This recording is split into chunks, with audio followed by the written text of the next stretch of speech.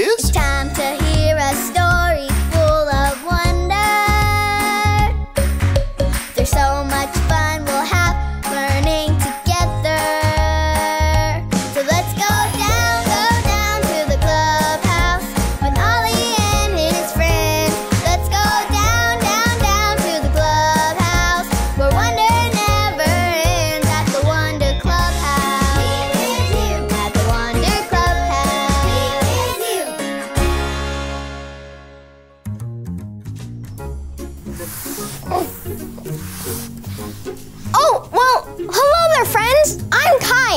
you can see, I'm cleaning up. I should be selling lemonade in the best lemonade stand with the lemoniest lemonade around. But as you can see, our lemonade stand is missing the most important thing the lemonade. It all started a few minutes ago when Poppy and I were getting set up. Poppy, watch out! Ah! The good news is Poppy's okay. The bad news is she spilled all the lemonade on me! I feel kind of mad, a little sad, and a little bit frustrated. We've been working so hard! Now what are we supposed to do? Who? Who? It's Ollie! Hello, Kai. Who? Who? What's got you feeling so blue? Poppy tripped and spilled all the lemonade on me. Now we don't have any lemonade. Kai, that is hard. It's true. I've got the perfect story for you. Just listen up. Just follow me through.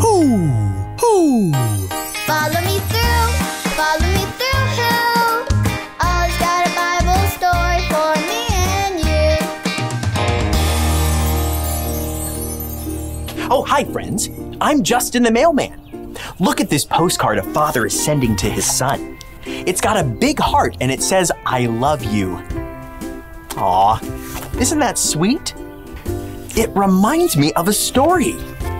Let me just put the story mail in the mailbox.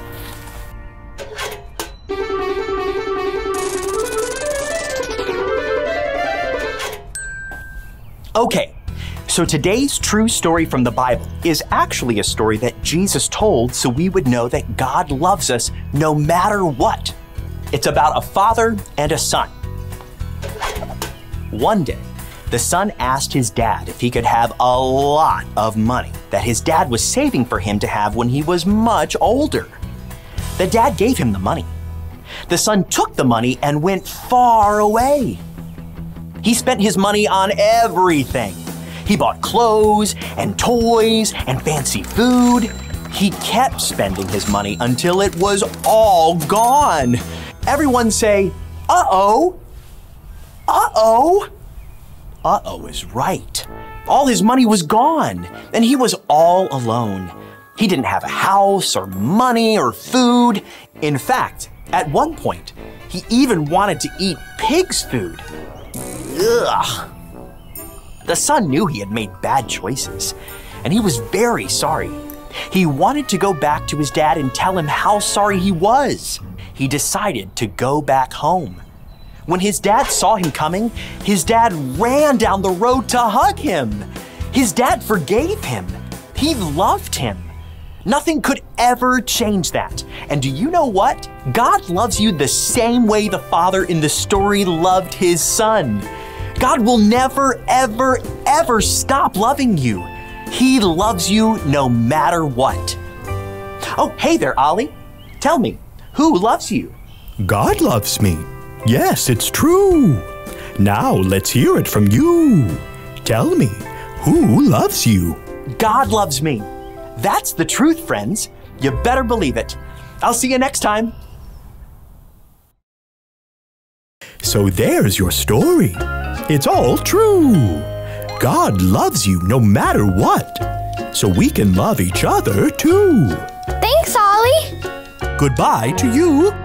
Hoo, hoo.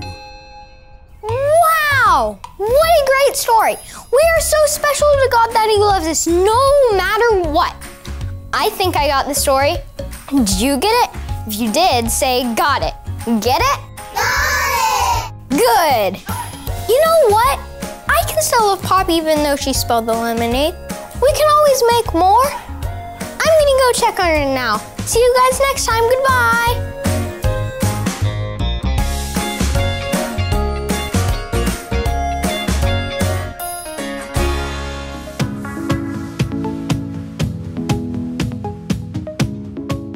Nothing at all can ever separate us from God's love. Romans 8:39.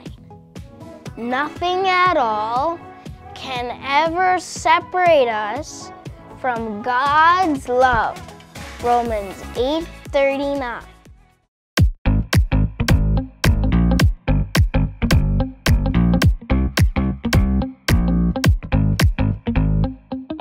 I wanna clap my hands.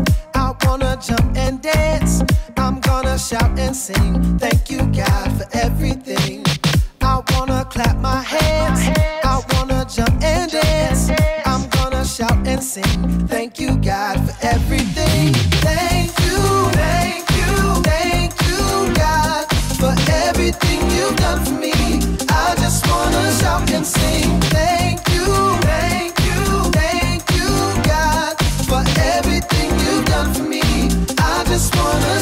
Shout and sing. Thank you. Ooh, ooh, ooh, thank you. Ooh, ooh, ooh, thank you. Thank you, God. I wanna clap my hands. I wanna jump and dance. I'm gonna shout and sing. Thank you, God, for everything. I wanna clap